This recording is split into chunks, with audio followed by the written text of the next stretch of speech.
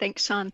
Welcome everyone to the Passive House Accelerator's 10th Global Passive House Happy Hour of 2021 and episode number 51, our very last show before our one year anniversary and my co-host Shaun's birthday. Thank you all for joining us. I'm Prudence Ferreira. I'm a senior member of the Carbon Neutral Design Group at BR Plus A Consulting Engineers and lead their Passive House practice. Uh, here at the Accelerator, we are an inclusive organization and gathering, welcoming everyone. So whether you're new to Passive House, zero energy, electrification, zero carbon, or you're learning, whether you're a teacher or a student, an expert or a total newbie, everyone is welcome. You're in the right place. Today, I'd like to bring attention to an item of note worth celebrating. Um, in the US, this very day, the Senate confirmed the first Black woman to be nominated Secretary of Housing and Urban Development in over four decades, uh, Representative Marcia Fudge. And her priorities include ending discriminatory housing practices as part of Biden's focus on dismantling systemic racial injustice and boosting Black home ownership. I really sincerely hope with all of our collaborative work and advocacy efforts that our community can help increase access also to high quality, low carbon housing for everyone. So to open the happy hour, I'd like to invite you all to unmute yourselves and join me in a toast to Passive House for everyone. Cheers. Cheers. Cheers. Wow. You're and of course drinking. with a PH. Mm-hmm. That's right. Not one minute late and they're already drunk. Good work. I also realized that last week I, I missed World Wildlife Day. So, um, retroactively, I'd like to do a second toast to all the critters that we share our planet with and also housing equality for them. My critter. Yes. You're here. You're here. All right. Yay. So, let's um, settle in and mute ourselves. As Monte likes to say, turn off that second screen, and he's going to be back with us next week. Um, and let's get ready for another great hour of content. Our featured guest this episode is going to be bringing us news from Belgium, the fairy tale land where Passive House is actually code and increasingly accessible to everyone. Um, but before we hear inspiring tales from there, that, as Shaun mentioned, seem a little like time travel, we have a video of the groundbreaking of a mixed use transit oriented passive house project in Boston, the Loop at Mattapan Station.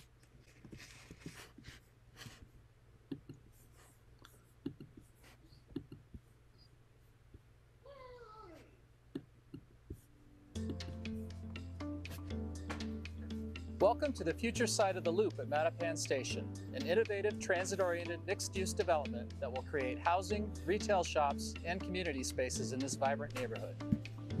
POA is pleased to present this virtual groundbreaking to thank our partners and to share our exciting plans for this former MBTA parking lot, which is being transformed into an active, mixed-income community.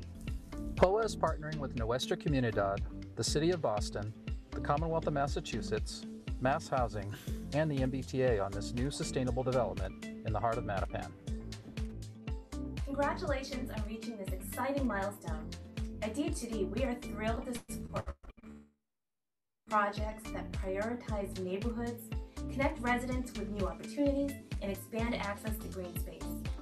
Situated next to the beautiful Neponset River Greenway, the Loop at Mattapan Station is a gateway to housing security, economic opportunity, and outdoor recreation. The Loop will offer 135 rental apartments with housing options for a range of incomes, plus approximately 10,000 square feet of first floor retail space. The Loop at Mattapan Station represents some of the best thinking in the Baker Polito administration.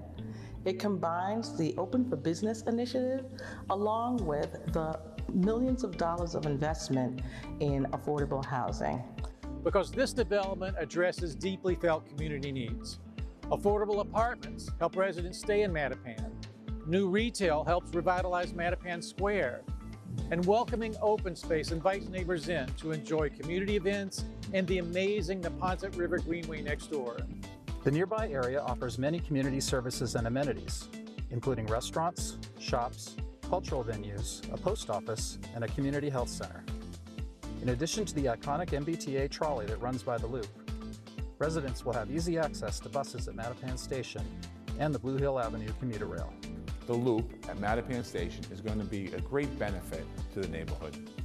It's also a great example of transit-oriented housing, providing residents with so many different options to get around the city.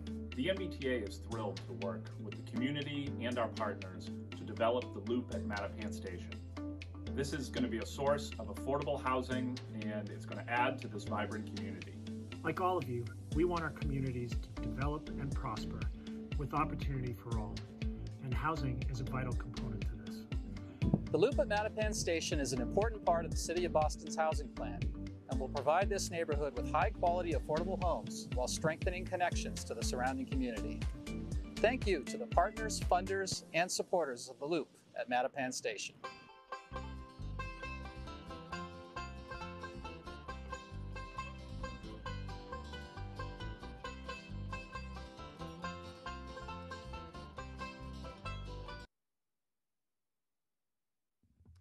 Fantastic. Great to see projects like that bringing equitable access to passive house, uh, passive house living. That's awesome.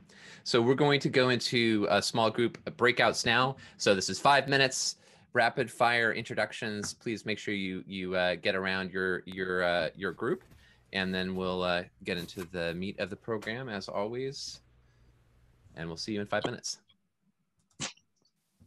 Um, I'm going to do some really fast introductions or announcements rather, um, and then we're going to get into the program. So um, every week on the Passive House Accelerator website, we publish the Passive House Week in Preview, um, which talks about what's coming up.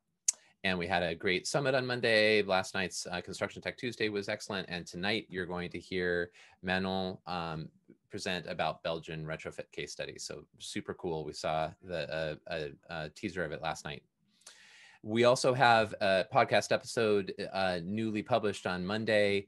This is a special one. It's it's uh, co-hosted, guest co-hosted by Mary James and Ilka Cassidy, and it's a, a interview with Gabby Brainard and Nina Sharifi. Uh, super super interesting about um, architecture and technology, um, passive house. Um, the experience of of uh, being women in construction and and passive house as a kind of entree and really good stuff. Um, and we also uh, next week are going to be doing in celebration of our uh, one year anniversary. We'll be doing a Passive House Happy Hour Paper Plate Award ceremony. Um, so if you have uh, uh, ideas for for fun um, award categories and or winners of those awards, please submit them um, on at, at, this link. Again, you can find this this I'll, I'll share this in, in chat the, the link to this article. Uh, lots of great events coming up, including uh, BS Fridays with Matt Willie. That'll be a, uh, uh session with Rothoblaas. Sorry about the um, typo there with the space, but the application of building science with Rothoblaas should be great. And then all sorts of educational um, opportunities, of course. All right. So with that, I am going to hand it off to Prudence. Great. Thank you, Zack. So I have the pleasure of introducing Manon Meskens.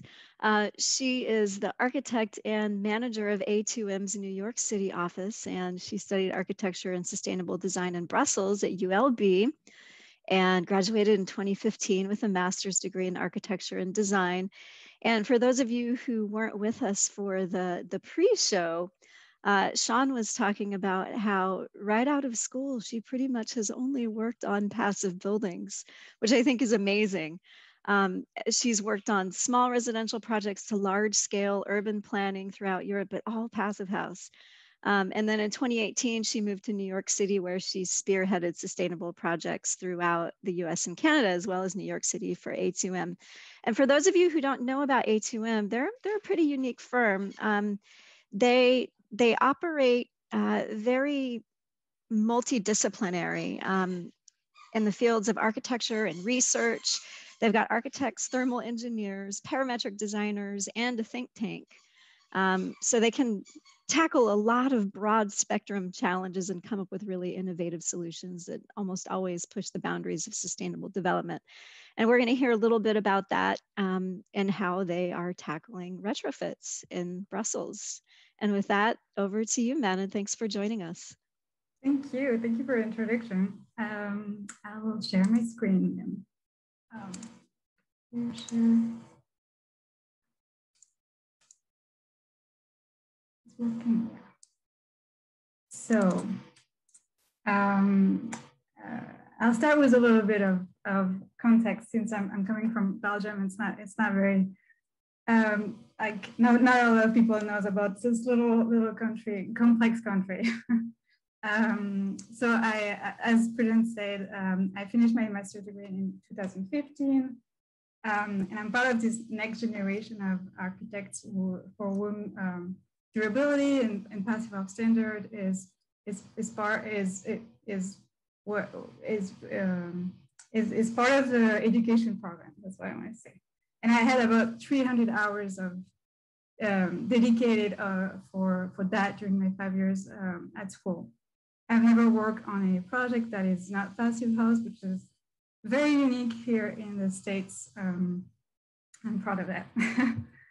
um, and the reason why Passive House was part of uh, my education program is because since 2015, Passive House standard um, has been mandatory um, in, in Brussels uh, for new buildings and for renovations. Um, so the, the number of passive house buildings increased um, exponentially the, the past um, 10 years, I'd say, and especially in Brussels.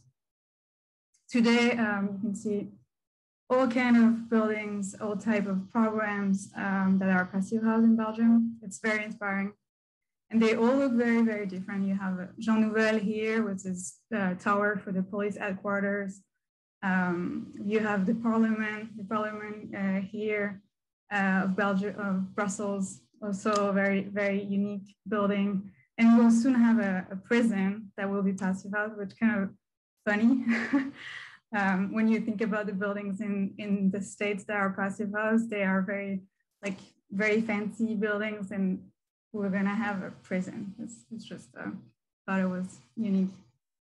Um, Sebastian Moreno, the, the founder of A2M, uh, started designing passive house buildings 21 years ago. Um, and so it was this long experience, we, we passed the point where passive house standard um, is standard. Um, it should be, and uh, mainstream and, and, accessible to, to everyone. Our team is composed of uh, engineers, uh, and, we start the energy analysis of each of our project at the conception phase, and, and this helps a lot to, to keep the cost as low as possible. Um, today, A2M has three offices, um, one in, in Brussels, um, one in Lisbon, and, and, the, and, and the New York office that I, I manage. I'm, I'm in New York right now. Um, for, for tonight, I wanted to focus on two retrofit projects because retrofitting is going to be a big part of our job to be able to improve our cities. And, and with COVID and, and the working from home situation, um, I'm sure um, a lot of office buildings um, will have to be renovated and, and, and into apartment buildings probably. The, the first project I go over with you is Les Balcons in French, the balconies in English. um, it's a renovation of a former office building from the 80s uh, to 92 apartments with office and retail spaces on the, on the first floor. We managed to keep the cost at $115 uh, per square foot, which is very close to the, the benchmark for business as usual in Brussels. And we estimate that the, the building is saving around $64,000 um, in, in energy cost per year. So that's a very good argument to, to show to clients who don't want to build passive house because it's too expensive. I mean, the, the cost, uh, uh, the energy um, savings uh, is, is pretty big. Um, and this is the, the building before renovation and after a little passive house uh, touch. Um, I'll show you a little video. So um, we started this project before the Passive House City uh, law was passed. So because of this, we, we, we had to convince the client to reduce the environment impact of the project by um, 90%. and we are able to reach that. Um, the biggest challenge was to manage solar gains in our favor. So we decided to integrate um, continuous balconies on the south facade. Most of the apartments are facing south, and if not, they have double orientations, east and west, um, which helps a lot for natural ventilation, of course, in the summer. And because of the shading um, devices, the balconies, and, and natural ventilation strategies, there's no need for mechanical cooling for this product. It's also this, the climax in Brussels, which is very similar to Seattle. Um, I, I don't have time to show the whole video, but um, here you can see the, the large uh, continuous balconies um, here, and um, they are all along the facade, and, and you see also the, the apartments are double orientated or triple sometimes, uh, which also allow the very good natural lighting. Um, so the continuous balconies helped to reduce the, the solar heat gain during the summer. As you can see here, the, we dimensioned the, the, the balconies. So in the summer, it would block the, the sun and in the winter, it would let, um, it would allow the sunlight to get into the apartment during the winter. Uh, this is the bare existing building. And um, and this is uh, during construction. So we added some extension on the side of the uh, renovation. Uh, we decided to go with outward insulation uh, since we didn't want to keep the facade, the very ugly facade wasn't necessary. Um, and we play with the insulation to create um, diagonal cutouts in the, in the facade. So the punch window, windows are a little a little, little a different style. Um, and this is the, the, the detail uh, that we do. As you can see, um, we have a, a, um, airtight membrane here in blue, and uh, the plaster inside is the um, provide the, the airtightness. Um, you can also notice that we align the, the frame, the window frame on the bearing wall, which is typically not what we're supposed to do uh, because it's, it's, it's, it's better if you can, you, the window is cantilevered, but um, we use a little trick. Um, so here in the A uh, detail is uh, what you're supposed to do. You're supposed to suspend the window so it's the, the insulation is continuous with uh, the frame. Um, and the C value is, is great, 0 0.0035. In detail B is um, the worst case when you put the window frame on the bearing wall and um, so there is a there is a thermal bridge. It's it could be worse if the insulation wasn't uh, overlapping the frame, but uh, still not great. The p-value is 0 0.021. Um, and the, the, the detail C is much better and very cheap, much cheaper, but not as cheap as it could be. it's we're using Perinsul, so we, you put the window frame on the Perinsul block. Um, but we decided to do something even cheaper and is to use just light aerated concrete blocks um, under, underneath the, the window frame. So we ended up with a C value of 0.016 which is clearly um, still a thermal bridge, but we consider it into the energy balance of the building. And we use the, the same, um, we use the same aerated concrete uh, block for many uh, details. Just uh, like the parapet, instead of wrapping the parapet around with, with insulation, we prefer to uh, thermally block the, the parapet with an aerated concrete block and, and it does the trick.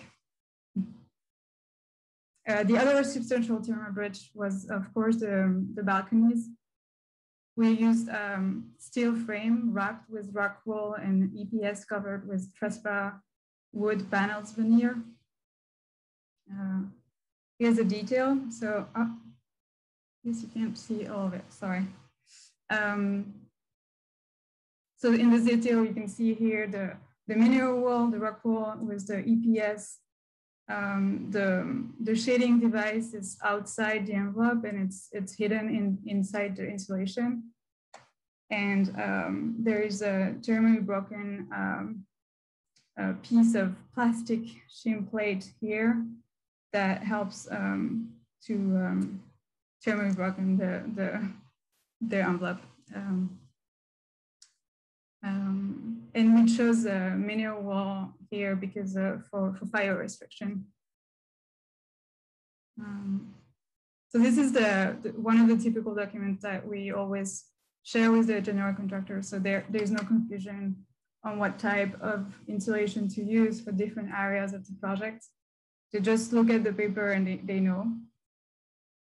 Um, this is the interior um, before renovation. And as you can see, the radiators um, were taking up a large part of the, the wall area. And, and now we, we eliminated the, the radiators and, and increased the, the window size, allowing more natural light. Um, so more heat gain too, natural um, uh, free heat gain. Uh, and uh, during the, the construction, um, we always integrate thermal images to make sure that the temperature changes are homogeneous. And so we can check that with the general contractor. And if there is an issue, we can, we can um, take care of it with them. Uh, it wasn't a surprise that um, the biggest energy loss is the window, is through the windows. Um, the ventilation in, in, green here and, um, and the external walls, of course uh, we ended up with a blower door test that passed uh, with a 0.52 volume per hour. And um, the building was Passive House certified in 2020. And we, we decided to divide the building in five blocks for certification. First, we, we thought about doing it by apartments, it was a little tricky for the certification, much, much harder to get the certification if you do that. So the only the only downside about the block situation is that um, the primary energy was much more because of the ventilation rate what had to be higher. Um, the second product that I wanted to go over with you is um, the new project, our new project Marnix. Uh, we are working on the on the renovation of the ING um, bank headquarters, which was built in the 60s by SOM, the American. uh, and, and it became a very uh, important building in Brussels. It's, it's, it's a landmark and it's protected by the city. So for this project, we, we have to keep the, the facade and work with inward insulation. And we wanted to go um, further than Passive House and, and reach carbon neutrality we, we have been working with um, our think tank, FAST, on a um, carbon calculator. To reach carbon neutrality, um, we first had to evaluate um, and understand what we are reaching for. Um, so we first evaluate the standard emissions of the building as if it was built as business as usual. Um, so, and so we can understand what we have to compensate. Um, and with that number, the, the, the 4,500 tons uh, of carbon equivalent per year, we, we didn't know what should be compensated here, and which can be a huge amount of, of carbon credits, or we can try to reduce the compensation in other healthier ways. Um, and one of the healthier ways is, of course, to reduce the carbon footprint with um, passive house principles and, and, smart design adapted with the, the environment. Um, for this project, we, we start with a building with a heating demand of 41 kBTU per square feet per year here. And, um, and an envelope that, that has condensation. So really, I mean, not, not passive at all. um, and, and uh, we are reaching for 3.8 kBTU per square feet per year. Um, uh, because we want to keep the original facade elements, uh, we decided to insulate from the interior, but we didn't want to increase the budget by, by cutting out the, the floor slabs and integrate insulation between the facade and, and the slab. So we went for insulating the, the exterior slab here um, and the interior uh, slab. So, so it, it's, it's not continuous.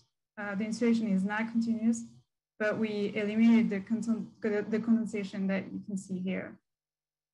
Um, so here's the detail. Um, again, we, we're working on it, so it's it's not. Um, it, we we just uh, we just deposit the the permit demand, so we're we're not we're not completely there yet, but it's it's in the PHPP. It's working right now, and so here you we um, the insulation won't be visible because it will be uh, tucked underneath the flashing here.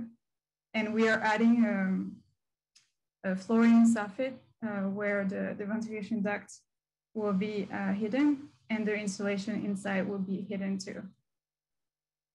Um, working with uh, solar analysis also increased the, the performance of our calculations. We use um, Rhino and, and, Grasshopper to do so.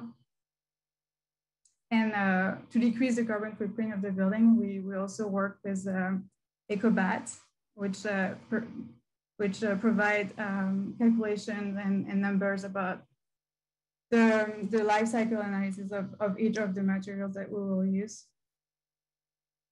And it's, it's a software that is accessible online. So it's, it's European, I believe. So yeah. Um, for this project, we, we are able to keep some of the windows um, because they were replaced in uh, 2011.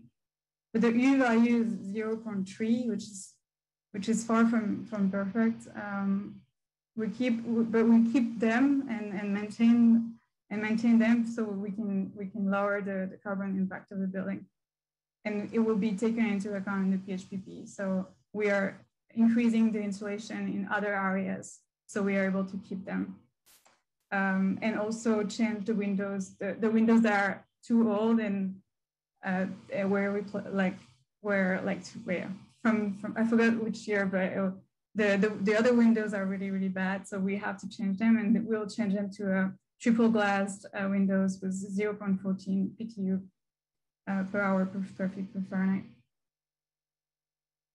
Um, and the, we also adding a lot of solar panels on the on the roof um, we estimate that the, they will decrease the primary energy by, by 13%.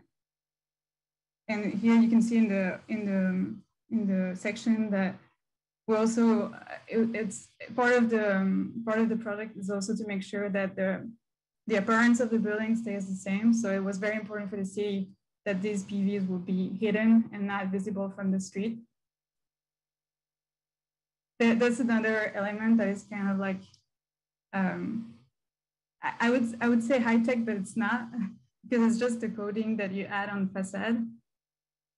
Because the, the building is, is next to, next to a high speed road. So we are implementing a, a photocatalytic paint on the facade to capture the, the NOx um, in, in the air. And the NOx is produced by fossil combustibles. And this coating is, is transparent um, and it's composed of titanium dioxide, uh, which when combined with oxygen uh, and, and light, um, it transforms the NOx into salt. Um, so the building kind of acts like a, like a tree. Um, and with all the, these strategies, we can reduce the, the compensation by 74% and, and the 26% left will, will be taken care of uh, with carbon credits every year. So yeah, that, that's it. Thank you. and any wow.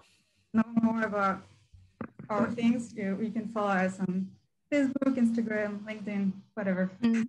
Thank you so much, Manon. That was fantastic. So we're going to take big picture questions for about 10 minutes and mm then we'll uh, break into small groups for discussion and then we'll come back for all group questions that Shaun will concierge for us.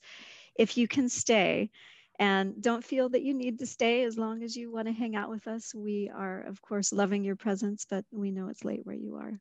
I love to hang out with you. Great, thank you. Well, all right. thank you. And again, I feel like we just like went to Mars and now we have to come back to reality. Um, I know that's just so many great things. And I, the chatter was going so crazy tonight that I, I definitely have to watch this again for some of these amazing oh, yeah. details you showcased. Yeah. um, it's good. So we're actually, I, am going to start off with Julie because last night I, she got skipped and we missed her and she always has great questions. So I'm bumping Julie to the first spot. So Julie, you get to kick off the question. Oh my God, now you got me. Um, well, I missed you last night. You, had, you were in the queue and we missed you. And I know, I am sorry. I had to go. Okay, now I have to remember what it was. Oh, um, so the window orientation or, or um, location in the wall, was that decision purely aesthetic and then you kind of made the best of it? Or was there another reason that it was so deep in the wall section? So it was just a budget reason. It much, it's, we talked with the, the general contractor and uh, for him, it was completely ridiculous to go and suspend the windows because it would be a lot more money to cut into something that wasn't necessary. Hmm, okay. At the already concrete block underneath. It's really the difference, the, the P value difference wasn't, we, we, when you, when you take, when you know about the thermal bridge, you just integrate that in the design and you just add more insulation in other areas and it works. Yeah you obviously passed with flying colors. So congrats, a beautiful yeah. project. Mm-hmm. Thank you. Yeah, and again, thanks for just sharing the the cost analysis. Like you guys looked at four different options, mm-hmm. figured out a solution, and then was like, okay, it's not the best, but it works, and so we can make it the best by tweaking other things. So yeah. again, one thing that we learned a lot, uh, was um, was working for many years with general contractors is that they know, like we have to start with working with them at the beginning. Yeah. They, they know what will be cheaper for them and maybe not cheaper for another general contractor but like like if they're if they're it in CMU, we're not gonna build in wood. Like you have to be practical. and so yeah, at, the conception phase, we like to be uh, engaged with the general contractor already. Yeah. Excellent, great insight. Thank you again, Manon. Uh, again, thanks, Julie. Sorry I missed you last night. Uh, now moving over to uh, Shannon. Shannon, you still with us, or do you want me to ask the question for you? All right, well, Shannon's question was, sorry, look it up here. Um, oh, so uh, can you just clarify the definition that Brussels uses for permacities? What does permacities mean? Oh, uh, so it's it's. It's not um it's not Brussels. It's it's M to A to M, and what we we try to um, share with that idea is to have like that the building the, the new building that we will build will be um, regenerative and they will it would be actually better to build it them than not build them because they will so the the last uh, slide that I showed when the compensation is much lower we found out that we can we can go even further and the compensation can be negative so you you actually like really the building is is working like a tree and and the, it's it's actually using um, capturing more co2 than it it produces so yeah no That's thanks Manon. I, forgot I, I forgot i'm going to dig up the the part of your website that shows that because it's a really cool culture that you guys are creating at A2M. So again, appreciate that clarification. Uh, moving over to Mr. Harvey. Uh, great presentation. Thank you. Uh, my question is, um, was really simple. How long did it take on the first project to complete? What was the duration? To complete the construction site? Yeah. It took um, two years and a half. Great. Yeah. Thank you. Yeah. yeah. Thanks. I like this kind of questions. It's easy. well, hey. I have some others. Don't don't don't. Yeah, don't don't tease him. Don't don't start. Don't start. Again, we try to give you a few easy ones, a few hard ones, and, and then we when we get into the after hour, we just dump all the big stuff on you. I, will call my engineer for the hard ones. oh well, then I'll I'll get into all the thermal bridging. We can talk about that, but we'll do that in the after hour. Thanks. Okay, okay. bye bye. That's it. That, that's when she's like, "Hey, I appreciate it, but now it's New York time, and I gotta go." All right, Devin, over to you, sir. Hey, thank you so much. Uh, inspiring, amazing work. Can you please pronounce your first name for me? I'm sorry. So it's Manon. Manon. Yeah. Mm-hmm. really awesome, amazing. And I'm curious about so many things, but I'll, the photocatalytic paint, when it takes the NOx and turns it into nitric salt of some sort, the potential osmosis there in like a brick or a masonry building, I would think would be a concern. I'm sure that's somehow managed or back, it's a back vented. It looks like it's on the outside of the masonry and back vent, but the other question really I had was the interior, how that was phased with like occupancy, how you were able to do the interior retrofit while it was occupied, how that kind of was. So it's uh, for the, for the second question, um, it's not occupied yet because it's not it's we're not uh, there yet, but it's it's going to be empty during the construction site.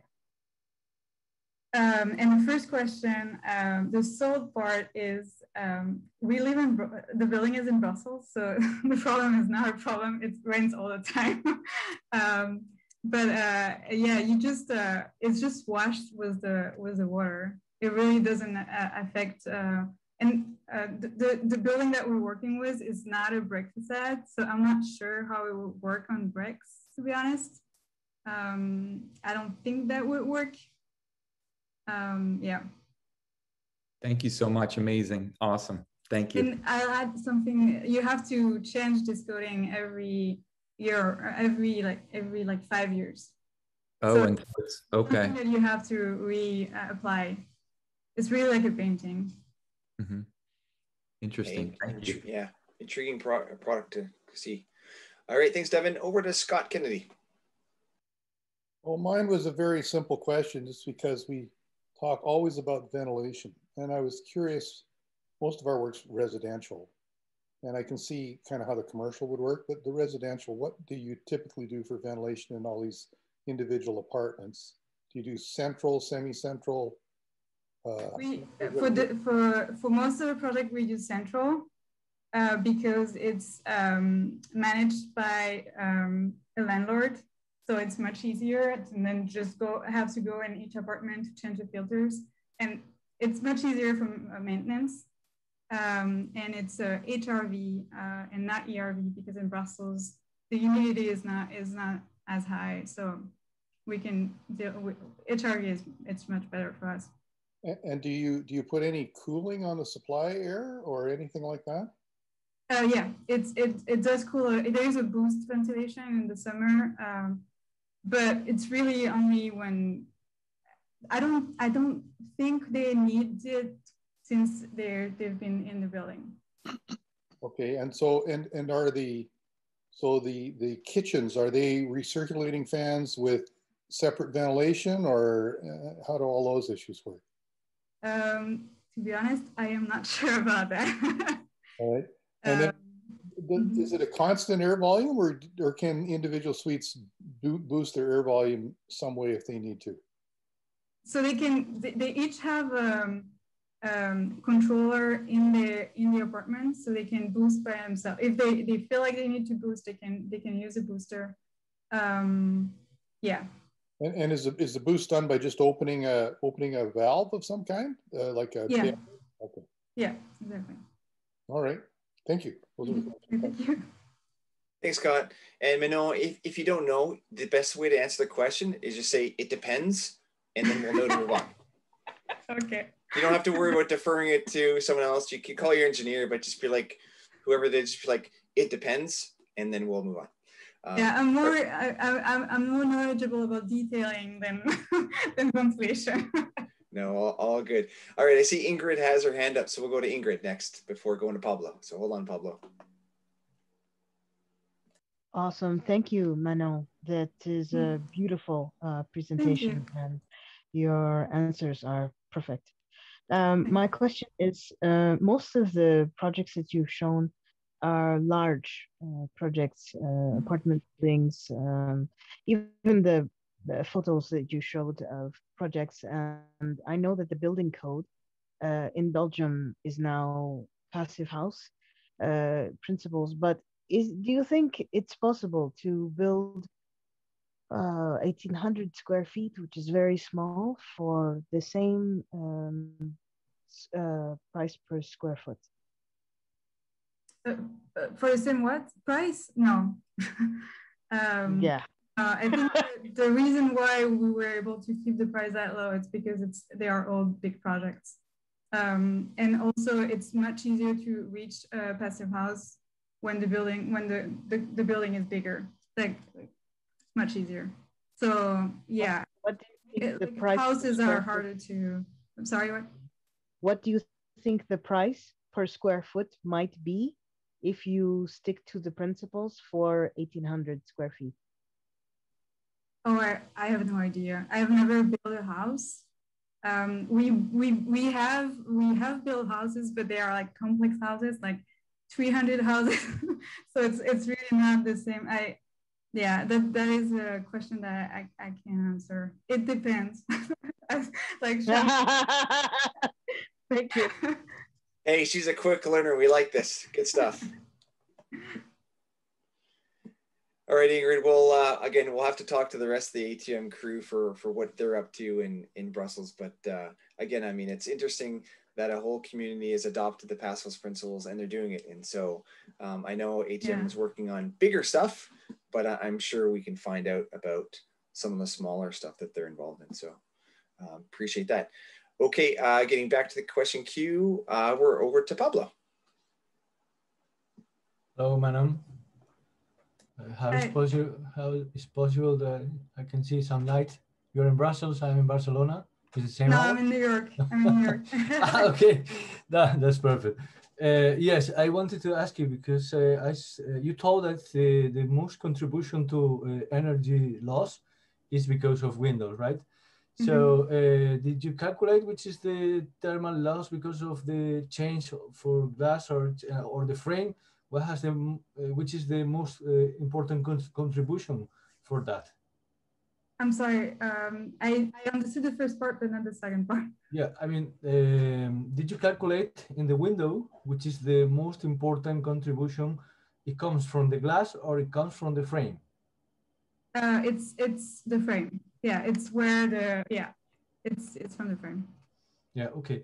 Uh, did you target any uh, particular uh, con- uh, conductivity for the frame or you took uh, what you have in the market, uh, more or less, which, which is the target value for the frame that you have um that you have uh, taken consideration in order to put a uh, in, in order to select the frame because you change the frame from a uh, aluminum polyamide, I think maybe, to uh, aluminum polyurethane. Uh, right? it's it's it's aluminum on the outside and wood in the inside.